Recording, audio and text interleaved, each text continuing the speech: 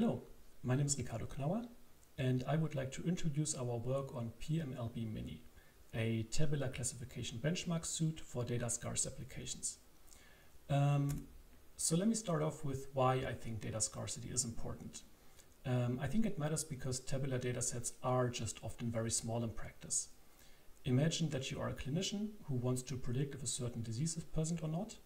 Then, of course, if this disease is very rare, it can be very hard for you to collect medium or large sample sizes. Also, when you look at the literature for benchmarks on tabular data, you will see that there are a number of benchmarks out there, but um, there are often only few small-sized datasets in these benchmarks. The one exception is the Penn Machine Learning Benchmarks, PMLB, um, which has a larger number of small-sized datasets, but doesn't provide easy ways to evaluate or analyze machine learning methods on these data sets. So that is why in our work we now introduce PMLB Mini, which is the first benchmark suite for the evaluation and analysis of small-sized tabular data.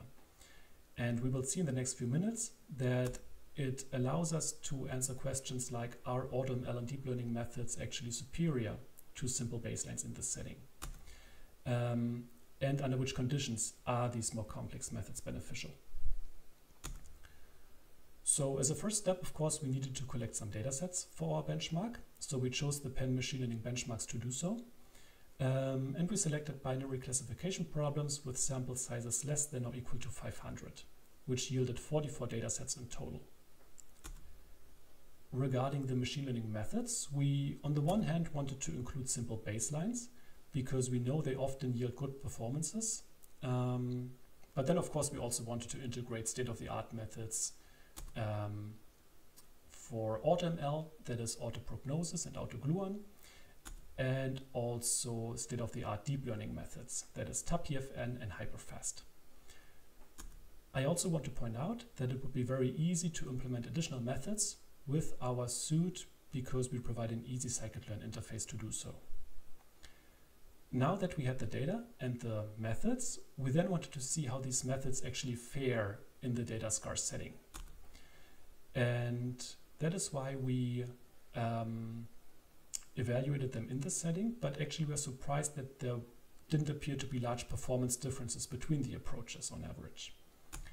We found that logistic regression performed similar to more complex methods on 55% of the datasets.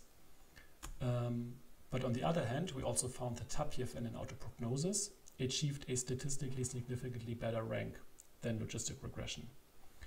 So that brought up the question, why is that the case? So are there maybe some dataset characteristics or meta features um, that would allow us to predict when a certain method would be more beneficial?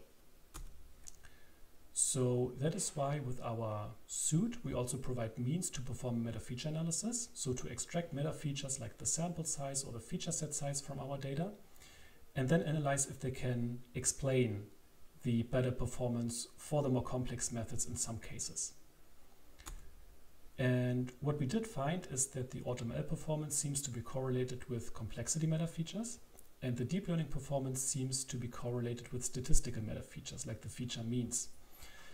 Um, so that most likely means that AutoML methods are more suited for more complex data sets, and deep learning methods may be more suited for data sets where the training data is more similar to the meta training or the pre-training data. Okay, so what are the main takeaways? Um, on the one hand, you can see that data scarce tabular applications are still underrepresented in current comparisons, which is why we proposed PMLB Mini as an easy way to evaluate and analyze classifiers in this setting. Since our submission, we have also provided some updates. For example, we now have Terry trees available for meta feature analysis and of course, we also plan to release further updates in the future, then also that go beyond the Penn machine learning benchmarks. Um, and that is why our suite in the future will be maintained as Tab Mini. And you find the QR code to our suite over here. And with that, I would like to thank you.